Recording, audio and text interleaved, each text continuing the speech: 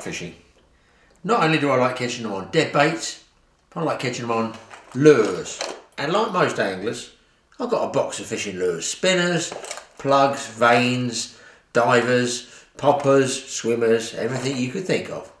And do you know what they catch? That's right, they catch anglers, they don't catch fish. Most of these in here, I haven't even caught anything on, but some of them are good patterns, and that's worth knowing about if you're a lure fisherman. Let's take a look in this box, and I'll try and show you a few of the lures that I've done really well on. You can keep your lures in any sort of box really, but I've got one of these that's got these these little hinges at the back and they pop up. So you can just pop up and take the lure out you want like that big spoon. And the hooks just rest in little notches all the way along here. So that you can pop them all up, take them all out. Pretty handy actually. Still a bit of a mess. But let me show you which ones are the different ones to use for pike.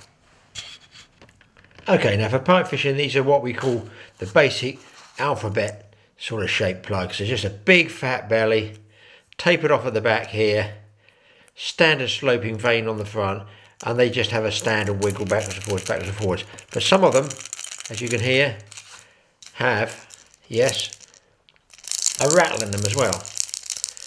So that adds uh, a bit of attraction. This one is traditional. This would be my best fish, fish catcher, I would guess, in water of, say, up to six feet deep, but good shallow water plug. It floats. If you stop winding, it comes up to the surface. You can waddle it along the surface. It's called a Big S. I think it's made by Shakespeare. I've had a lot of pike on these. Obviously, that's a brand new one, but you know, trust me, that's a really good plug to start with. And this fire colour as well is excellent. But that's one standard shape of plug. Now you can move on and I'll show you the different shapes. These ones are what I call a standard shad, but they're deep runners. Now look at the steep angle on that. If I put this one back in here, and it just gives you an idea, if you look at the angle of the lip here, try and line them up a bit, it's much steeper, it's much longer on this, on this, I call it a shad. That's going to run really deep. And this sort of big S alphabet plug is a lot shallower back here so that tends to push it up towards the surface and this lip here will tend to make it dive down deep. These are all good deep water plugs. These are what I would call sort of like a pencil runner these. It's like a pencil popper which has no vane. These do have a vane so they will dive down but they have a sort of angle that's a sort of slow throbbing angle. You can wind them quite fast but they won't really throb and vibrate. Got three hooks on them which you know, probably two sets of trebles too much as far as I'm concerned. I'm not a great lover of trebles. And then we got this type there, which has no vane at all.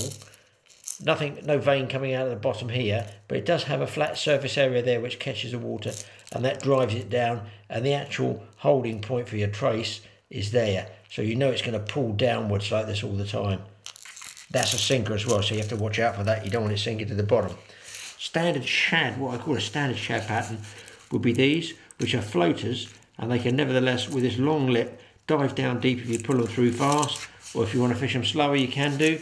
And always look at the difference in the vane on the front. See that scoop vane there? That means that's not going to go down quite as deep as this one. Now you can also get a jointed plug. Now these are pretty good because they add a sort of bit of ag aggravation factor, I think, to it because they can wobble at the back as well. So they got the vane to dive down here. You still get that diving down effect there, but with that join there, they can have a good throbbing movement, sort of sinuous, sort of snaky look to them. These can be really good catchers on their day. Obviously, they're all different. Colours, well, you know, it catches the anglers more than it catches a fish. But, you know, I'd say something like that with that bit of orange and a green back's as good as anything. Then you have these ones, this style of plug. Now, here's a standard jointed plug. Now that has a fixed scoop vane. See a big round scoop vane on the front of that? So that's going to dig. Now this will generally rise up to the surface and if you want to wind it faster, you just you get it a little two, three feet deep, probably no more than about three feet maximum, and even, even if you wound it fast. But that jointed action is good. And I don't know if you can still get these. I think these were made by Abu years ago, the Hi-Los they had an adjustable vane. You can click it, look, so you can make a shallow popper there, boost the vane up there, shallow running. Two more clicks and it's really, really digging in there and that's going to drive it down deep. Plus, of course, you've got that really waggly joint. They are good plug. These Hi-Los are really, really good plugs. I don't know if they make them now. I've still got some left and I won't be losing them anytime soon. I can assure you, I hope. Moving on to the super duper deep runners. The vane tells its own story. That's one of my better plugs. It runs down deep. But look at the vane on this one. This plug will just go so deep you probably never get it back. So just think gravel pits for that. Anywhere that's not too snaggy, clear open ground. And two trebles on it. What I call bite size, nice size plug. Great big plastic vane on the front. And the wire actually extends through the plastic lip of the vane And with a little O-ring there to join your link swivel to it. Then you have little paddle poppers and paddling bugs that come across the surface like this one, which are surface poppers really, and this one pops across the surface and you can actually hear it audibly coming across the surface to you. Uh, summer piking, shallow water, two feet or less, around weed beds, it's good. Other than that, not my best catcher, but the amusement factor on this one, brilliant. Okay, spinners and spoons. Traditional big copper spoon, cast like a bullet, but sinks like a bullet as well. So you've got the rings here you can actually put split rings and tie on extra trebles. You can put extra trebles on there if you want. Uh, probably recommend one near up the front because that's quite a big, uh, big spoon, that one. Now these wobble in the water and flutter. So if you wind them fast, they wobble and flutter fast. Uh, they're best fish rather than constant if you fish them fast stop, fast stop, fast stop. So they rise up, then they flutter down, rise up, flutter down. That's how they work. Traditional spinners, which everybody should know about. Doesn't matter whether you've got the little red tag on the back or not. And these are revolving blades. They spin round and round that bar like this, but they also have the benefit of sending out a vibration.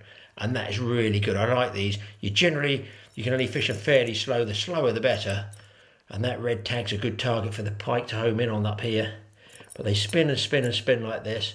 Um, you probably want a lead near them. I used to use a Wye lead to try and get them down, which is a shape lead. Very, very good basic pike catcher. Not a big pike catcher, but a good one for small fish. Moving on to the, the future, you've got rubber. A lot of latex plugs are coming in. This is a pretty good one, especially for perch and small pike.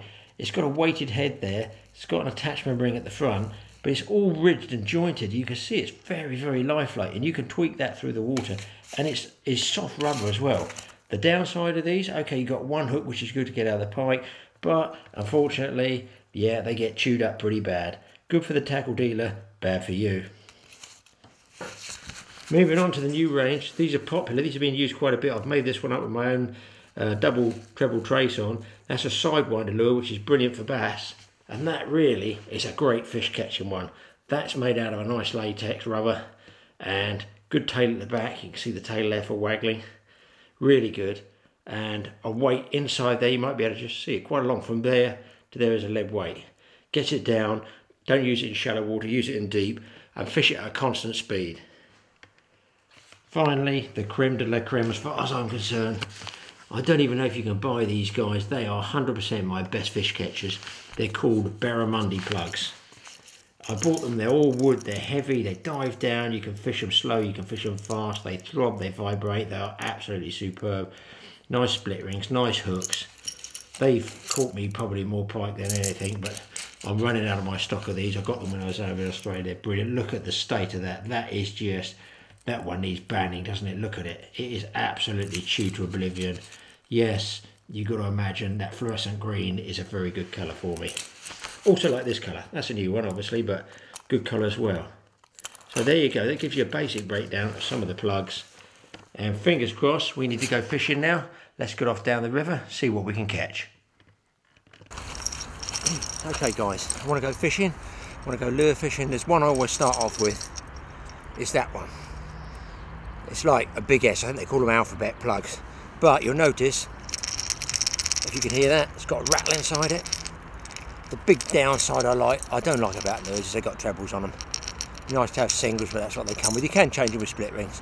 So this one obviously dies down deeper the faster you wind it, but only to a certain level. So I'm going to start off with this one and just basically work through the water layers.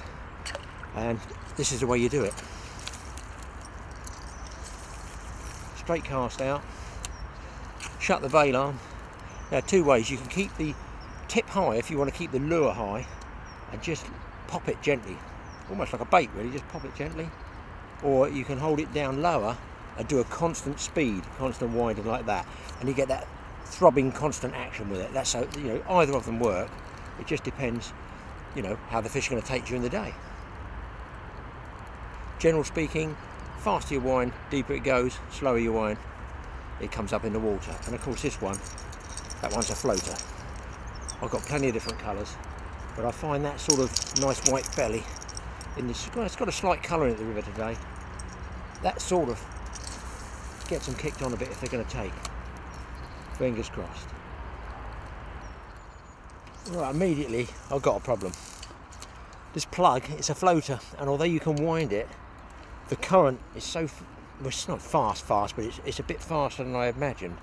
So it's, even though I'm cranking away here, it's bringing the plug well up in the water, too high, I can't get down. I'm going to change it, and as I mentioned before, that angle on the lip on the plug, the front of the plug, it's a bit shallow on those uh, on those alphabet plugs. A steeper one will send it down. I've got just a plug. I've got an old Australian one. I'll show it to you. It's really chewed. Get rid. Hang it on the lens for now. There you go. And this one, totally different. I mean, it's not been chewed. It's been bombarded. It's a barramundi plug. I've got several of them. I bought when I was in Australia. They are very, very, very good. And just, I guess, straight wood and they dive like crazy and they catch a lot of pike. In fact, if I crank this one, speed crank this one, it's going to go so deep it'll probably turn up in cans. Let's get it out there. So now this one, oh, casts like a bullet too. This one I don't like to fish, unless it's a really deep gravel pit, this is a river, I won't fish it down and crank it fast because it will, it will gouge the bottom out. I'll lose it basically is what I'm trying to say. So try and keep the rod up and you can fish it very, very slow this one very slow because it pulses, it just darts and pulses down. Well, it's got a constant throb to it all the time if you do a, a, a steady retrieve, but I'm just telling you that the hits I get on this lure, you see the teeth marks on it, is when I just pop it and tweak it.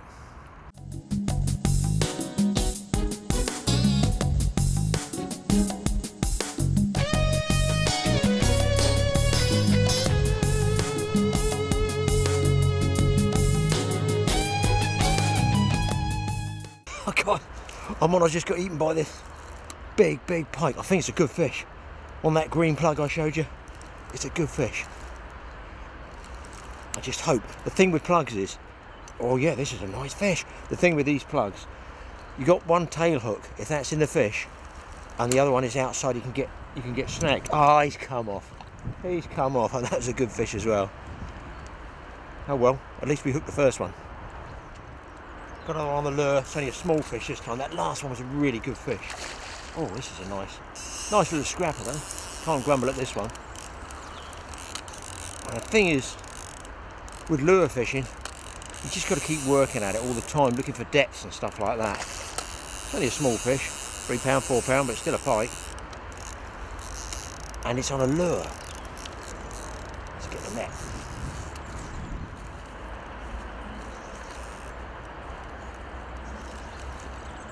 Sort of made up for losing that other one. But not really, that was a big fish. Oh, let's take a look at it. There we go. And he's just, he's got that barramundi plug, which you can see is totally chewed up, right in the scissors there. But the problem with piking on lures is these front trebles, oh, it didn't happen with that big fish, the hook's just pulled out of that one. But the front treble can snag in the weed, they can snag in the net, just you're going to net it and the fish tears off and you lose it. So this was a bit of a lucky one and you just get those trebles out like that. Drop it down, hopefully not in the net, and there you go. Well, that is, if I had to say anything, that's probably my favourite plug. But I had that fish over the other side. Oh, I was a bit disappointed to lose that one. That fish, you guys have to believe me, but it was 12, 12 to 15. It was, a, it was a damn good fish. It's just nipping at it. It's weird, just nipping at it. But the problem with the lure fishing is, and this is a tip, just take six sprats with you, dead baits, anything, dace, dead dace, you know, dead naturals, dead sea baits. Because with a lure, this is my experience, if they don't take it, if they follow into the, right to the bank and turn away, you rarely, rarely get a second take at them. Now, I've had five follows now right to the bank. A couple of them are just nipped at the tail of this, bang, bang, gone, you know, so they're definitely feeding differently. My experience is, do your lure fishing, if you're starting to get follows, clip up a bait, go through the same swim. Don't need to go, go down all the river doing it. You can often pick a fish out, and that's a bonus fish because with lures, you can't stop them. If you stop them, they don't work. With a bait, you can almost hang it there in their face. And my experience is you're going to pick off the odd fish. A little bit of bonus fishing for you as well as the lures.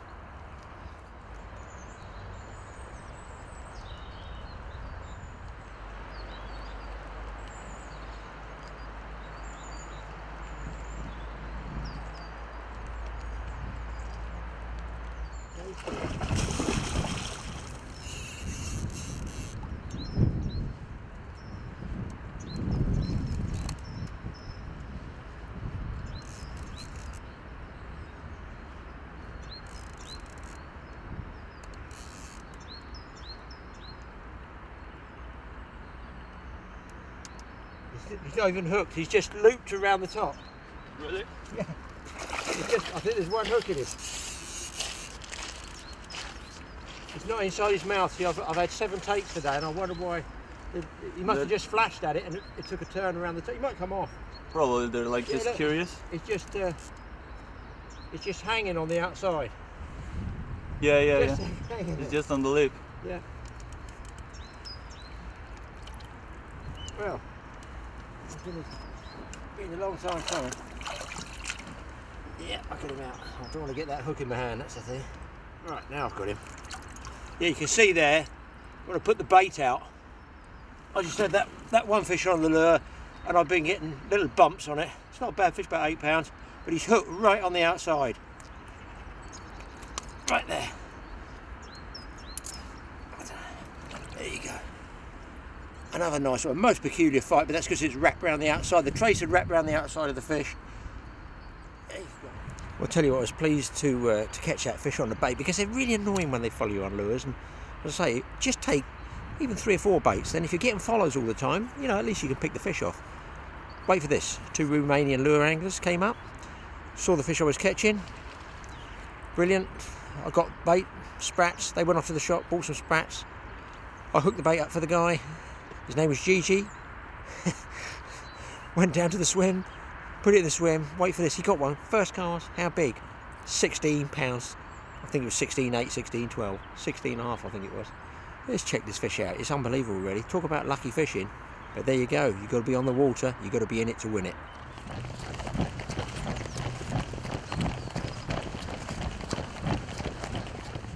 Ooh, that's a good one. It was really the first cast.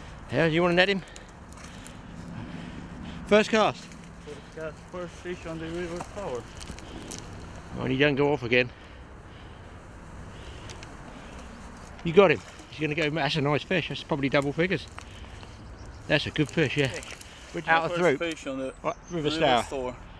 Stour. Yeah, that's a beauty, yeah. On sprat, Twitch sprat. I think you'll be selling all your lures. that's a nice fish. 16 and a half pounds, got a photo of it, put the guy on the fish, brilliant. But that's got that out of the way because, you know, you get the odd fish on, on bait like that, but I was lucky with a bonus. Back to the plug, back to casting. I want to see if I can get something else on a lure. I'm going to work my way up river. And if I keep getting follows, I'm going to chuck different lures out. You know, go from light to dark, different colours, big ones, small ones. But the main thing is the depth, the depth and the speed, the pulsing of the of the lure. So that I, I feel that's the main point with lure fishing. We're on, we're on. Second one on a green lure. Oh, oh, it's not a bad fish. Not a bad one. Oh, please don't come off this time. Let's look at this. Oh no, there's no net. Oh Jesus. He's not going to help me, is he? I suppose he could if he's walking, you know. Oh, this is this is a good fish. I don't want to lose it. Oh, he's going for the trees. I'm in trouble. I'm in trouble. I'm in trouble. Oh, jeez, jeez. Man, this is... I'm in big trouble, guys. Big trouble. It's going downstream, loose treble, snags. I'm going to kill the camera a minute. Okay, I think I'm back in. He's gone out in the middle. So back in some really fast water and he hit the plug. I did two, two or three winds. Oh, what? Oh, just hang there, just hang there. Uh, stay calm, Mr. Mainwaring. The net's over there. Can you believe it? Dear God. This fish is a good double, I think. How the hell am I going to get it? How the hell am I going to get it? Oh man, it's big, big, big. I'm in trouble, boys. I'm going to have to put the rod down, balance the rod on the tripod, put the back one on. I'm going to do a sprint for this. Uh, bait runner off. Fingers crossed I don't lose the camera. Four grand camera, 100 quid of the tackle, and a huge fish.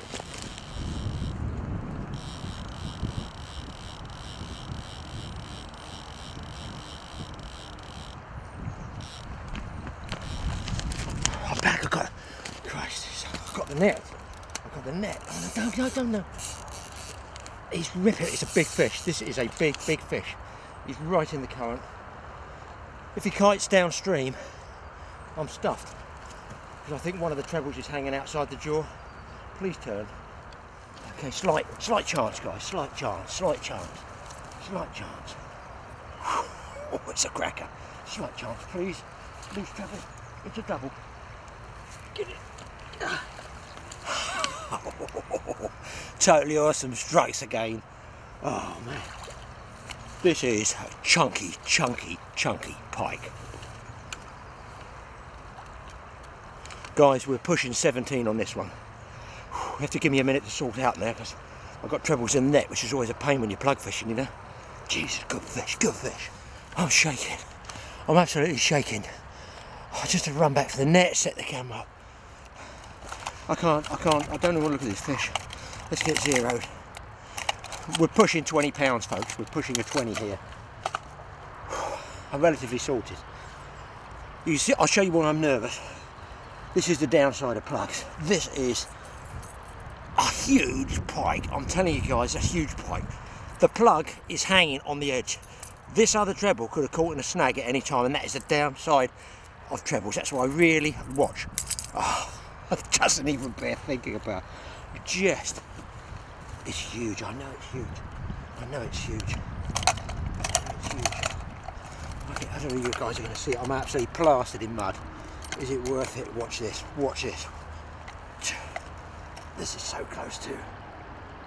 Oh, oh no. No. Oh no.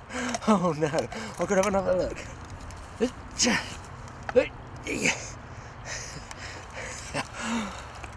Would I lie to you guys, all my friends out there in YouTube land? God damn, 19 pounds. Jesus. You can't be disappointed with a fish like this. Let's get a look at this fish. I thought it was a 20, I have to say. Come here, baby. You get back in a minute. Calm down. I don't know who's more, more fractious, you or me. Whew. Christ.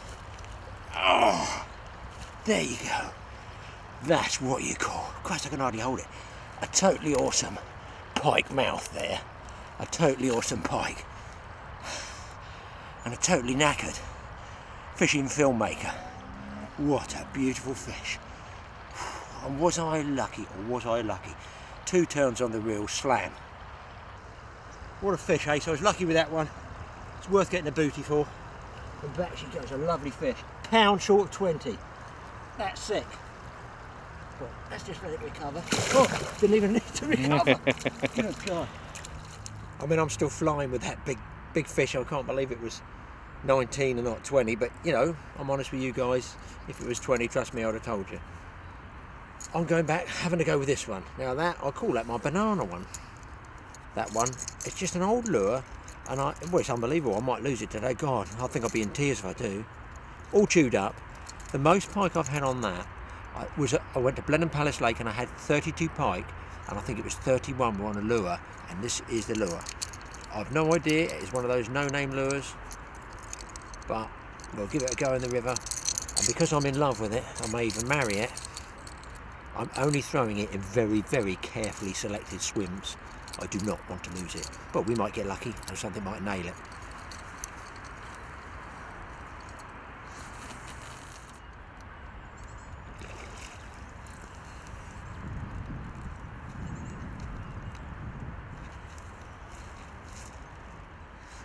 There it is, folks.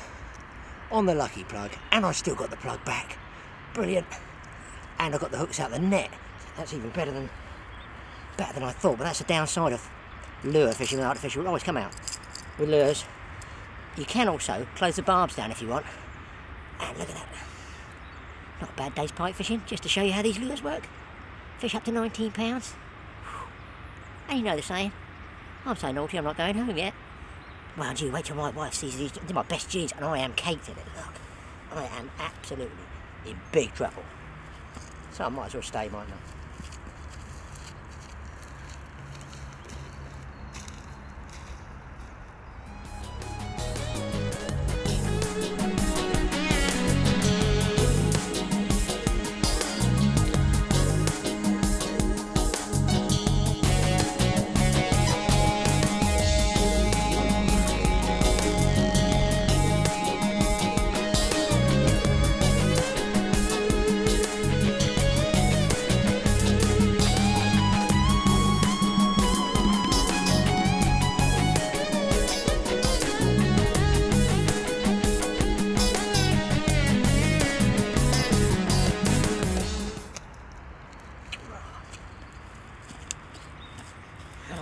For those YouTubers.